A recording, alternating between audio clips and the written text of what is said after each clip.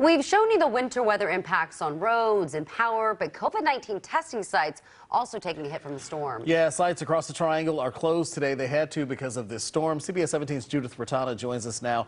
And Judith, when and where is the next time someone will be able to go out and get a test? Ron, it's going to depend on where you live. Wake County and Cumberland County testing sites are closed until Monday.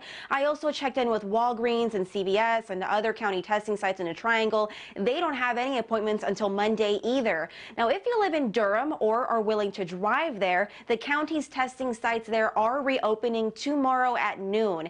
The county has four testing sites that are scheduled to reopen. Pre-registration Pre-registration is encouraged and testing is free. Now these openings are subject to weather, so as the weather changes, so could testing schedules. But I do have registration link for those sites online in my story at cbs17.com. Judith Retana, CBS 17 News. All right, Judith, thank you very much.